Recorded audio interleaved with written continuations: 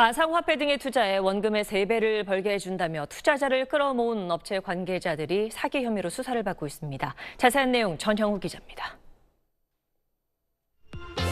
핀테크 업체를 자처하는 QRC뱅크의 홍보 영상입니다. 이 캄보디아 현지에서 사업을 하면 전 세계 글로벌들의 파트너들과도 본격적으로 이제 사업을 펼칠 겁니다. 가상화폐 거래소를 세워 나스닥 상장을 추진한다며 뉴욕 타임스퀘어 전광판 광고도 홍보에 활용했습니다. 업체 대표 A씨 등은 가상화폐에 투자해 원금의 300%까지 벌 수 있게 해준다며 투자자를 끌어모았습니다. 처음에는 매일 투자 원금의 0.5%를 수익으로 돌려줘 투자자들로부터 더 많은 투자금을 끌어냈습니다. 하지만 몇 달 뒤 수익은 끊기고 원금조차 찾을 수 없다는 답이 돌아왔습니다.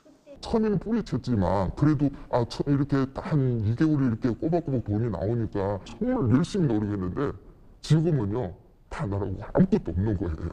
중국 동포나 세터민, 고령층을 주로 투자 모집 대상으로 삼았습니다.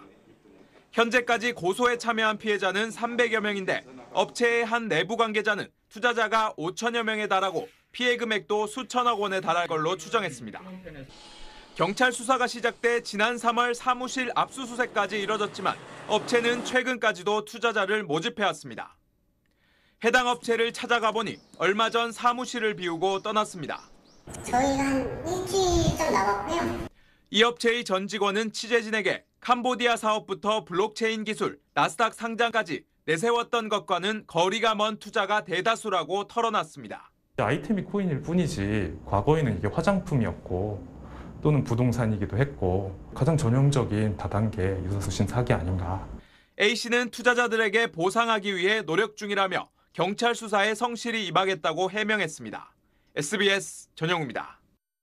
네, 안녕하십니까. 김현우입니다. 더 많은 뉴스와 라이브 이벤트를 보고 싶으시면 화면 오른쪽을 눌러서 구독해 보시길 바라겠습니다. 또 저희 SBS 앱을 다운로드 하시면 속보 알림도 받아 보실 수 있습니다. 항상 저희 SBS 뉴스를 시청해 주셔서 대단히 고맙습니다.